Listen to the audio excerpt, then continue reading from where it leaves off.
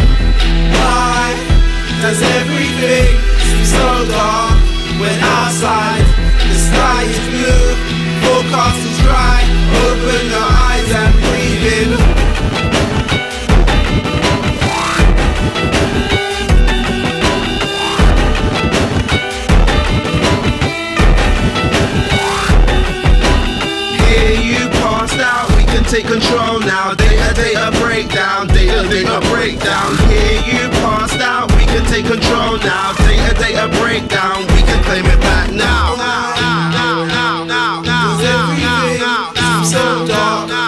Outside the sky is blue and the forecast is dry.